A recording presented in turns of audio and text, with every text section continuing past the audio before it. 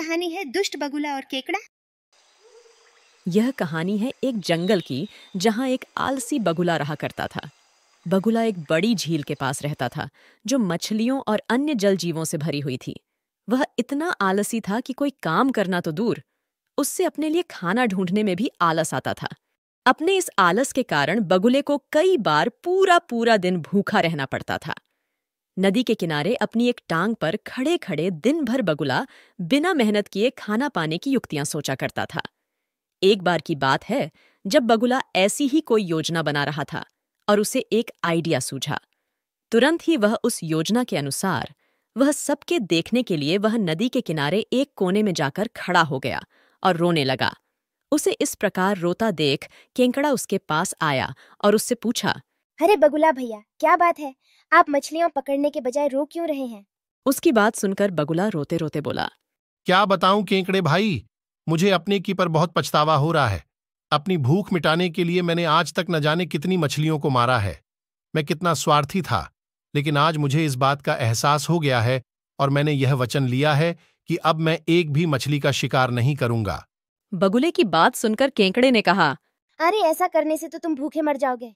इस पर बगुले ने जवाब दिया किसी और की जान लेकर अपना पेट भरने से तो भूखे पेट मर जाना ही अच्छा है भाई। वैसे भी मुझे कल ज्योतिषी बाबा मिले थे और उन्होंने मुझसे कहा कि कुछ ही समय में बारह साल के लिए बारिश नहीं होगी और सूखा पड़ने वाला है, झील में पहले से ही बहुत अधिक पानी नहीं है और बहुत जल्द बारिश की कमी के कारण झील बहुत जल्द पूरी तरह सूख जाएगी, जिस कारण सब मर जाएँगे। केंकड़ा यह खबर सुनकर हैरान रह गया कि उन पर क्या बीतेगी, और उसने ने जाकर यह बात तालाब के सभी जीवों को बता दी। यह खबर सुनते ही हर कोई घबरा गया। उन्होंने बगुले पर विश्वास किया, क्योंकि वह बिल्कुल भी मछली पकड़ने की कोशिश नहीं कर रहा था। इसलिए वे सलाह लेने के लिए बगुले से मिले। इस पर बगुले भगत ने कहा, यहाँ से कुछ कोस दूर एक झील है। यह पानी से भरी हुई है और कमल के फूलों से खूबसूरती से ढकी हुई है। झील में इतना पानी है कि अगर 24 साल तक बारिश न हो तो भी यह नहीं सूखेगी। हम सभी उस तालाब में जाकर रह सकते हैं। मैं एक एक को अपनी पीठ पर बैठाकर वहाँ छोड़कर आ सकता हूँ। उसकी यह बात सुनकर सारे जानवर खुश हो गए। उसने पहले ही उनका विश्वास जीत लिया था। इसलिए वे उसके चारों ओर एकत्र हो गए और अनुरोध किया कि वे उन्हें एक एक करके दूसरी झील पर ले जाएँ और उन्हें बचाएँ। दुष्ट बगुला अपनी योजना में सफल हो गया था। वह हर दिन उनमें से एक को दूसरी झील पर ले जाने के बहाने अपनी पीठ पर ले जाता था। वह उन्हें झील से कुछ दूर ले जाता और एक चट्टान पर ले जाकर मारकर खा जाता। कई बार वह एक बार में दो जीवों को ले जाता और भर पेट भोजन करता।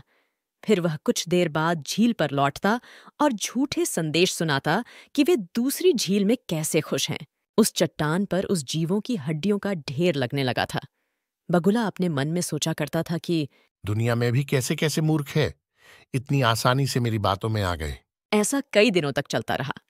एक दिन केंकड़े ने बगुले से कहा बगुला भैया तुम हर रोज किसी न किसी को ले जाते हो लेकिन मैं ही आपका पहला दोस्त हूँ। कृपया मेरी जान बचाने के लिए मुझे दूसरे झील पर ले चलो। यह सुनकर बगुला खुश हो गया। उसने मन ही मन सोचा हर दिन मछली खा के उब गया हूँ। यह अच्छा है कि बदलाव के लिए मुझे आज एक केकड़ा खाने को मिलेगा। तो बगुले ने कहा ठीक है आज तुम्हें ले चलता हूँ। यह कहकर उसने केंकड़े को अपनी पीठ पर बिठाया और उड़ चला। जब वो दोनों उस चट्टान के पास पहुँचे तो केंकड़े ने वहाँ अन्य जीवों की हड्डियाँ देखी और उसका दिमाग दौड़ पड़ा। उसने तुरंत बगुले से पूछा अरे बगुला भैया ये हड्डियाँ किसकी हैं और झील कितनी दूर है? उसकी बात सुनकर बगुला ज़ोर ज़ोर से हंसने लगा और बोला कोई झील नहीं है और ये सारी तुम्हारे साथियों की हड्डियाँ हैं जिन्हें मैं खा गया। इन सभी हड्डियों में अब तुम्हारी हड्डियाँ भी शामिल होने वाली हैं। जब बगुले ने सच कबूल किया तो केकड़े ने अपने मज़बूत पंजों से बगुले की गर्दन पकड़ ली। कुछ ही देर में बगुले के प्राण निकल गए। इसके बाद केंकड़ा लौटकर झील के पास गया। झील के अन्य जलीय जीव उसे वापस आया देखकर आश्चर्यचकित रह गए। वे उत्सुक हो गए और सभी प्रश्न पूछने लगे। तब उसने अपने बाकी साथियों को सारी बात बताई। कोई झील नहीं थी हमें मूर्ख बनाया जा रहा था। बगुला एक धोखेबाज था और उसने जो झील सूखने के बारे में बताया वह सब झूठ था। वह रोज हम में से एक को यहाँ से कुछ ही दूरी पर एक चट्टान पर अपने भोजन के लिए ले जाता था। ये सब सुनकर उन सभी ने केंकड़े को उनकी जान बचाने के लिए बहुत धन्यवाद दिया। तो दोस्तों इस कहानी से हमें यह सीख मिलती है कि हमें आँख बंद करके किसी पर विश्वास नहीं करना चाहिए। और मुसीबत के समय भी संयम और बुद्धिमानी से काम करना चाहिए। धन्यवाद दोस्तों इस प्यारी कहानी को सुनने के लिए। अगर आपने यह कहानी पसंद की हो तो कृपया लाइक करें, शेयर करें और हमारे चैनल बी हाइव टून्स को सब्सक्राइब करें। और हाँ बिल्कुल न भूलें, बेल आइकन पर क्लिक करें ताकि आप हमारी आने वाली कहानियों से कभी भी वंचित न रहें। फिर मिलेंगे एक नई कहानी के साथ। धन्यवाद।